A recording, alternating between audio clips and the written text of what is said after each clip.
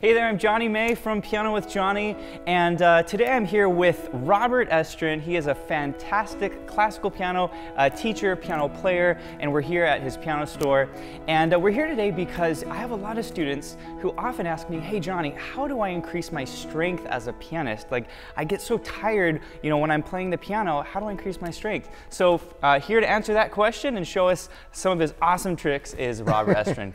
All right, it's a real pleasure. I'm glad to uh, get to know some of your followers. And, Absolutely. And of course, you've got a, a monstrous technique at the piano and also a solid classical background. That's right. So I know that you can share a lot with this.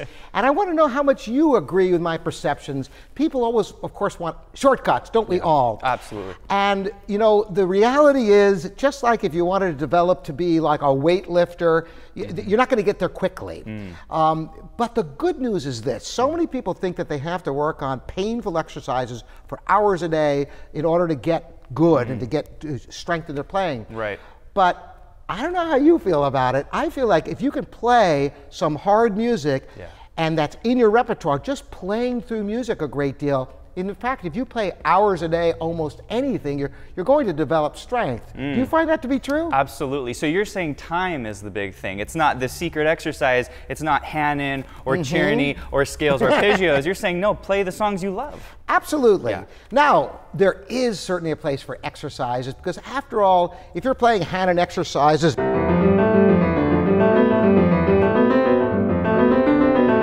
up and down the piano and yeah. you're spending even 10 minutes, you're going to play more notes in those 10 minutes than you would playing 30 minutes of almost any piece of music. Mm. Because music almost always has slow parts, fast parts.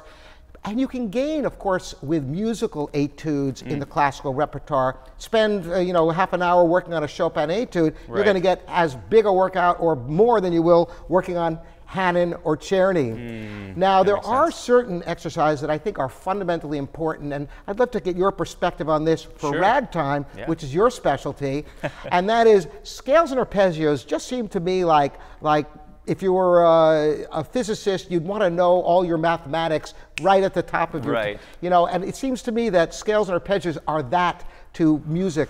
Right. Uh, what, how much does that translate to ragtime? Do you think that's intrinsic? Oh, sure. I think scales and arpeggios apply to every style. You know, mm -hmm. ragtime. You know, ra and, and, scales and arpeggios are interesting because they facilitate two things. There's the technical part, and then it's also understanding we're in the key of E flat and just exactly. that theory knowledge. So. so yeah. So I think that, and you know, there's a few exercises I can put some links on here yeah. of uh, things, just things with thirds that really give you a workout and more than that independence of the fingers, yeah. like.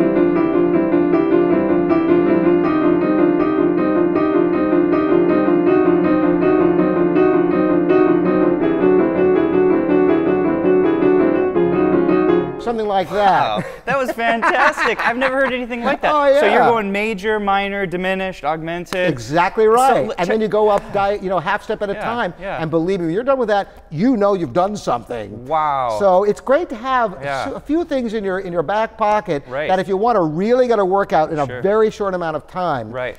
Of course, though, like sitting down and playing a Scriabin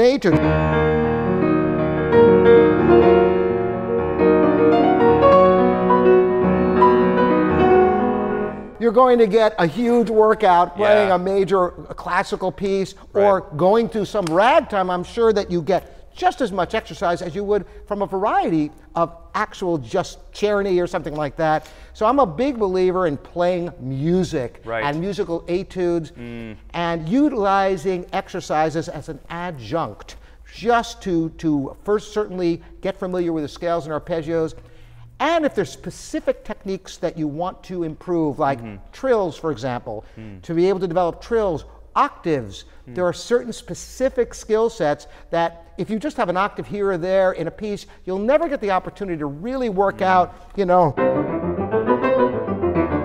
to be able to play octaves. So you I work see. on scales and octaves, or even just, I have other octave exercises so you can isolate one technique and develop mm. that one technique. That Sometimes it's a big time saver yeah. instead of just hoping you cover that in the course of your music. I see. That's really helpful because a lot of mm -hmm. people think, well, there's just this one technique, and it's like there's so many. Ragtime is its own thing. That's right. The thirds that you did earlier is its own thing. The mm -hmm. octaves, and so you're saying, hey, let's pinpoint. Let's do this one you know, maybe it's a problem spot for mm -hmm. me mm-hmm. as a pianist. We'll focus on that spot, right? That's absolutely right. Okay. And fundamentally, there are three aspects of technique development. Okay. The fingers, obviously, everybody knows that. Mm -hmm. And you could develop the fingers to a dazzling extent and still not have any octave technique because yeah. the octaves come from the wrists. Oh, you bring that's such a good point, especially mm -hmm. for ragtime. Yes. There's a lot of amazing classical pianists, and then you say do the jump, and they can't do the jump. right. right? So, Unless they played so. Liszt, maybe they. yeah, yeah, exactly, right. Or Rachmaninoff or something. And then the last thing is the arms. There's some massive technique that you absolutely need to use the arms, okay. like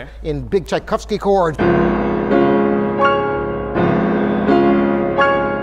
Going to do that with the fingers yeah. or the wrist. You yeah. just need. So I think knowing which technique you're utilizing mm. is perhaps half the battle, being wow. able to identify what parts of the body to use for a specific technique. And generally speaking, the faster something is, the less mass you're going to use. You're going to use your fingers for the fastest things, your wrists for things that require speed okay. and power, and mm. finally, when you need the massive amount of power that only the arms can do, use the arms. yeah, right. Then now, you do the Tchaikovsky.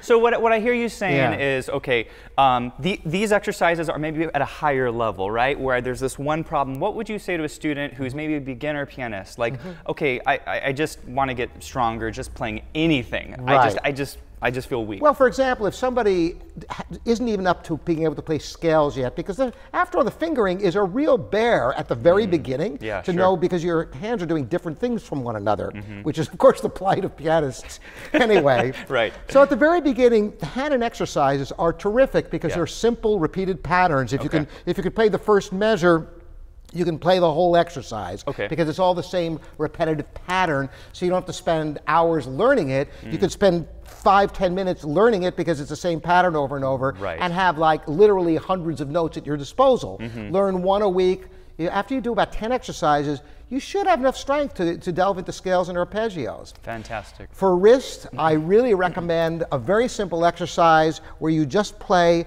a scale at 60 ticking on the metronome, one note to the beat.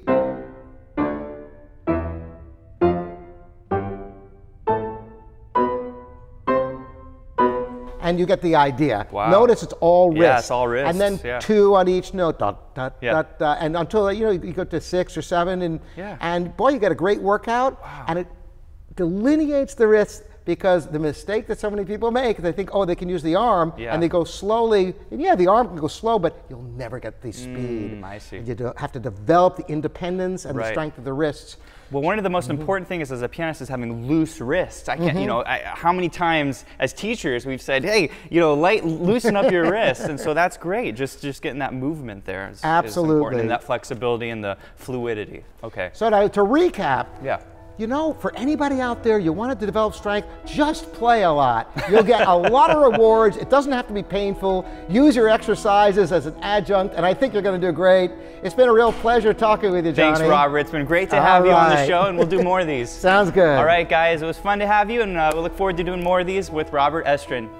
Hey, I hope you enjoyed this interview. A couple more things. Uh, Robert has very kindly included some links on finger strengthening. You can find those down below. Also, if you want to watch Robert interview me on ragtime music, you can click the link here on the screen. There's also a link down below. And lastly, you can find my free mini lessons and arrangements on my other YouTube channel, Piano with Jonny Lessons.